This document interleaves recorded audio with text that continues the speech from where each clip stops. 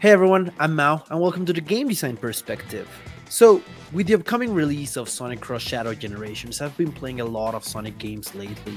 In preparation for what Sonic Generations actually is, I played it back when it released and I haven't really touched it ever since. I'm also very hyped for the third movie, so I got back into playing one of the games that people actually disliked a lot when it came out. I think in 2013, and that is Sonic Lost World. And Sonic Lost World is a cool game. I really like it. It's a very solid game and one of the most polished and focused Sonic experiences ever. And this video is not rant about how it feels slow and lacks momentum. I'm also not saying that the reviews that state that aren't true. They are. They are completely right. Like if you see a review of Sonic Lost World, they'll most probably talk about how it feels slower than previous Sonic games, and they are totally right.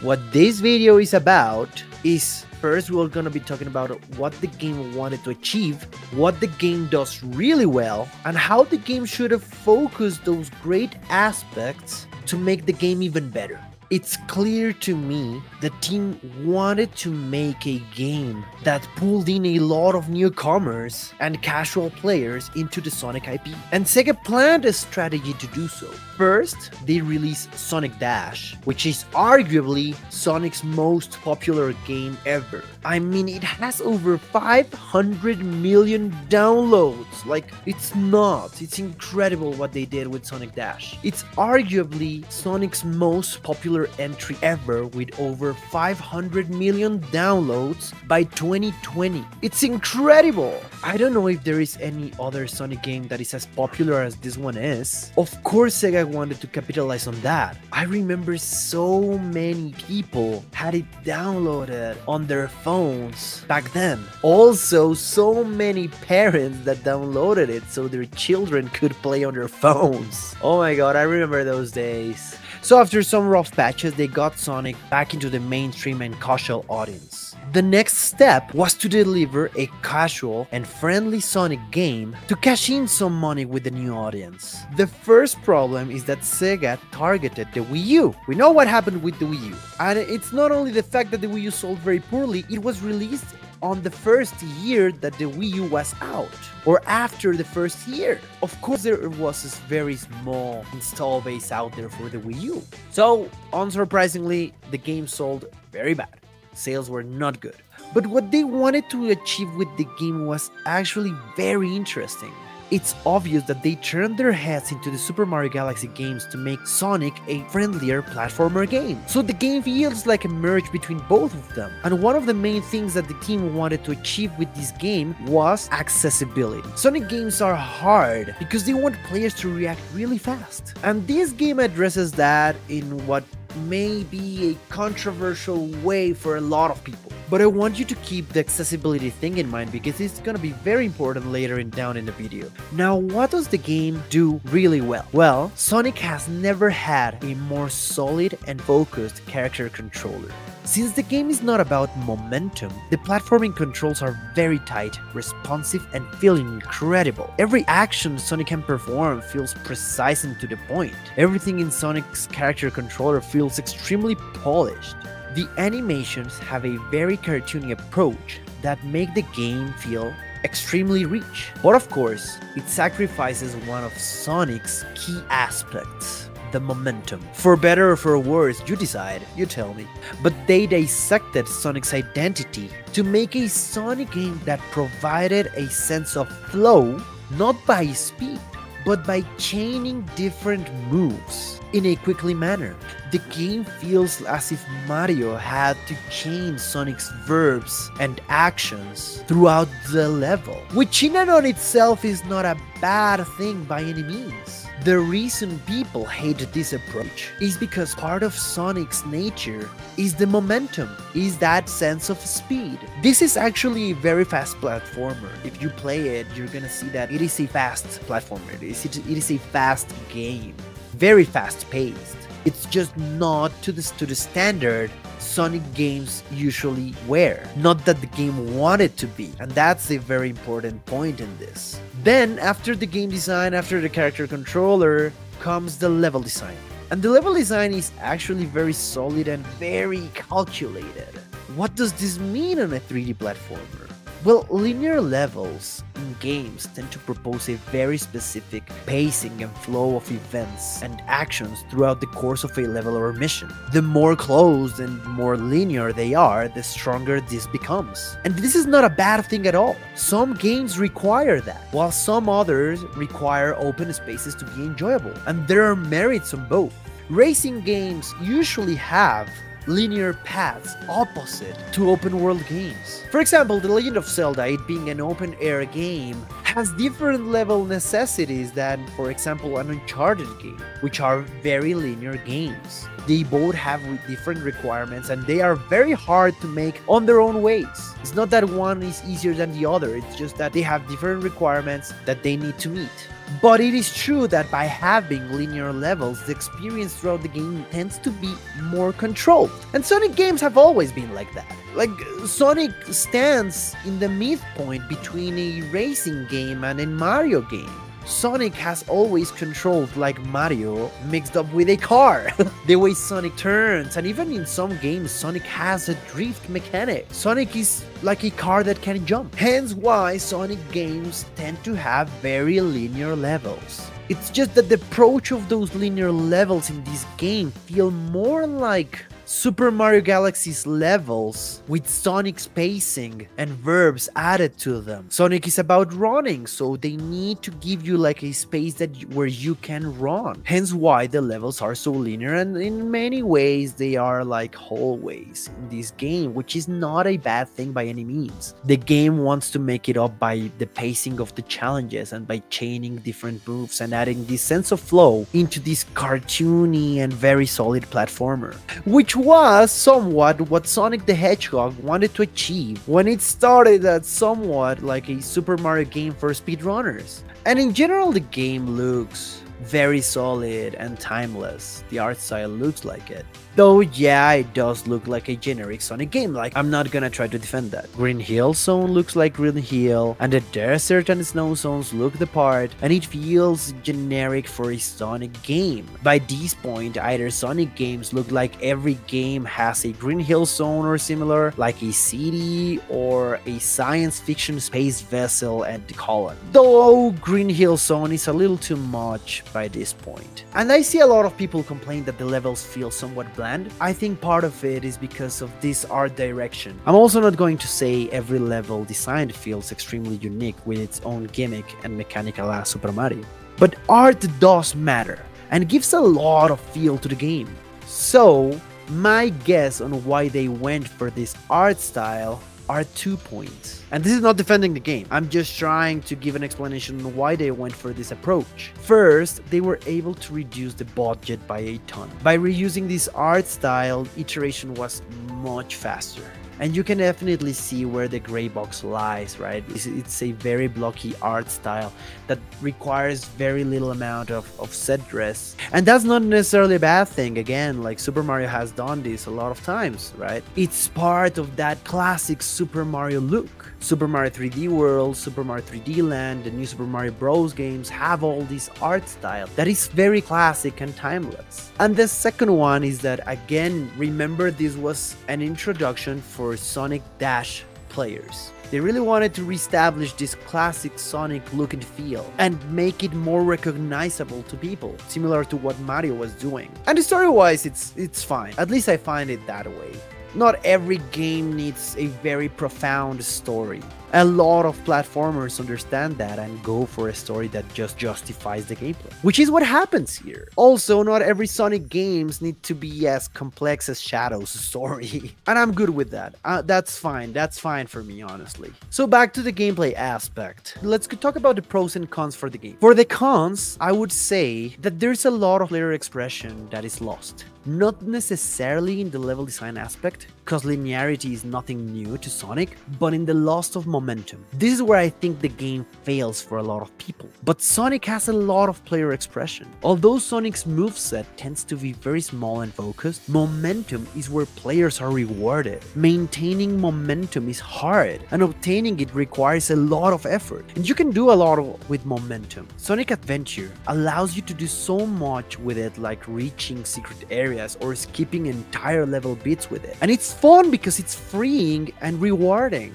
That is my main con for the game, honestly. And it's a huge con, not gonna lie. But what are the pros for all of this? Well, the pros are that everything in the game feels very intentional. Every challenge, every jump, every speed boost, it all feels planned. Which again can be a bad thing depending on how you see it since it also lacks player expression. But why I feel it's a pro for this game is that designers are able to control the flow and pace of this game really well and makes it easier for players to achieve a state of flow. The levels are fast paced, you're moving into different beats, quick. And by fast paced, I'm not talking about Sonic's running speed or momentum. I'm talking about how long each part of the level lasts. And they tend to be fast, really fast. And all of this like how the designers are able to control the flow of the game, the pacing, how they are able to pretty much control the fun makes it very accessible to new players because the skill ceiling is not as high to have fun.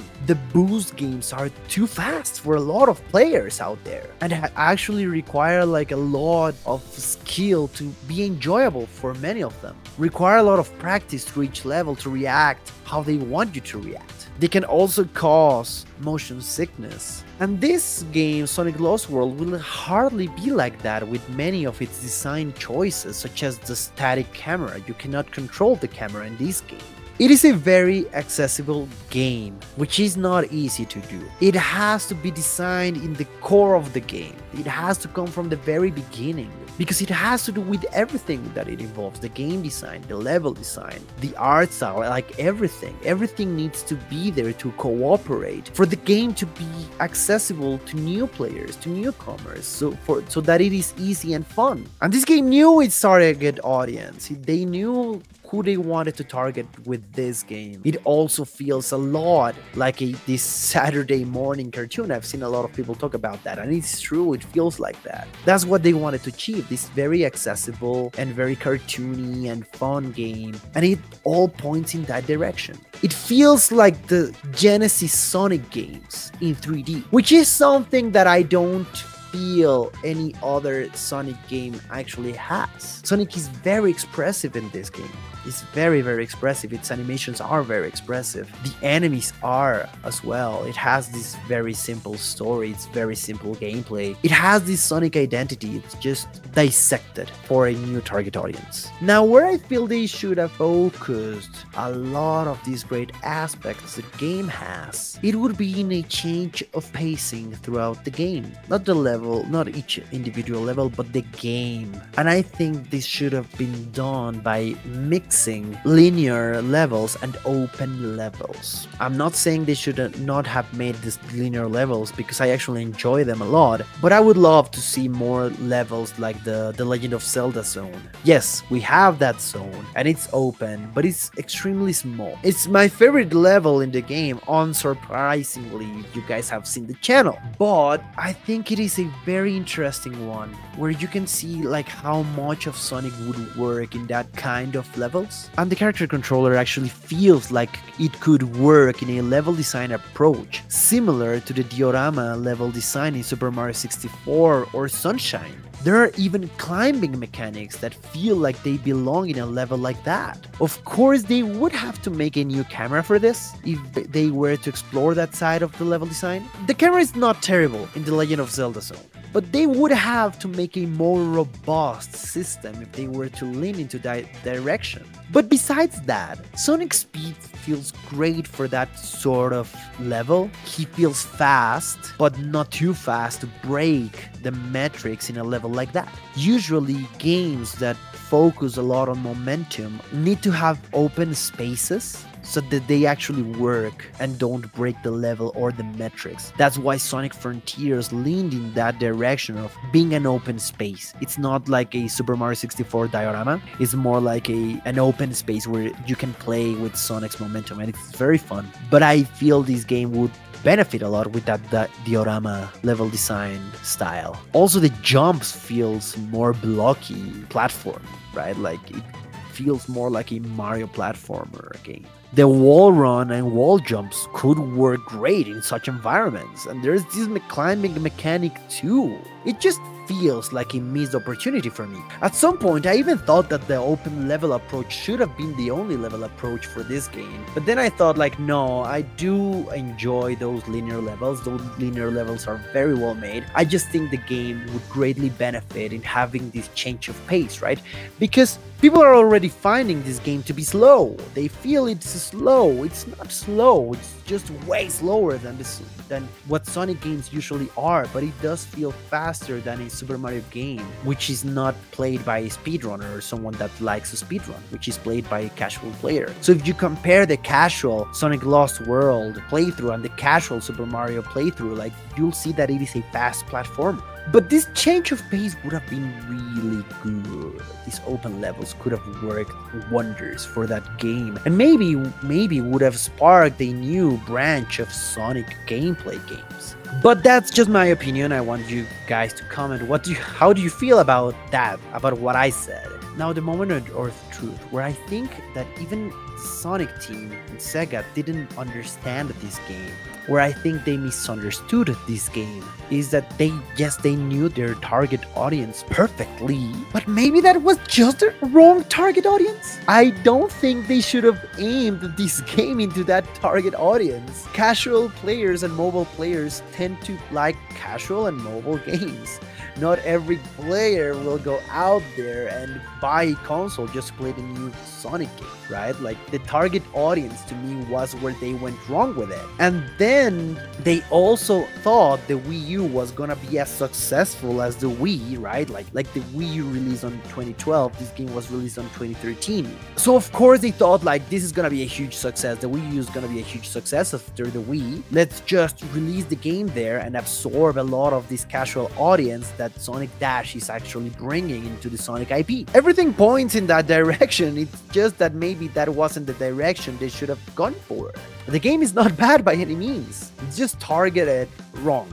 It was just sent out there to die and they misunderstood who Sonic audience actually is. And who Sonic audience actually is? Well, Sonic pretty much created a target audience. Sonic literally created the fast-paced, momentum-driven platformer games. That's the target audience. It has a huge target audience. That's why we're seeing a boom of games that are similar to that and have their own approach into what they think a Sonic game could be. We have Spark the Electric Jester we have Freedom Planet. There are so many games inspired by Sonic, which target that same audience. I worked on Rakugaki. Rakugaki targets that same audience. I'm not gonna say it's like a Sonic clone. It's not a Sonic clone, but it targets that audience. And you can see where the where the speedrun community lies on that. A lot of Sonic speedrunners got into Rakugaki.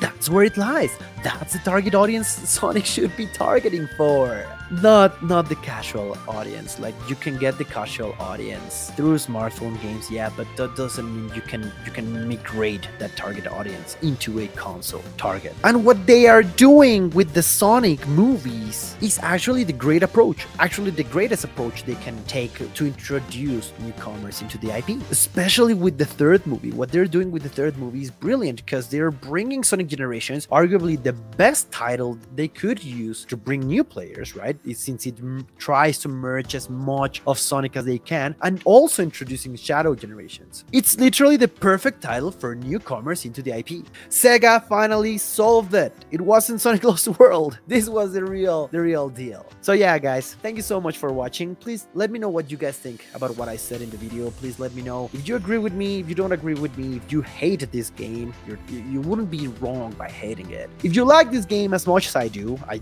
enjoy the platforming aspect respect very much. If you agree with my comments, if you agree with my opinions, please let me know, guys. Thank you so much for watching. Please like, comment, and subscribe, and I'll see you guys on the next one. See ya, guys.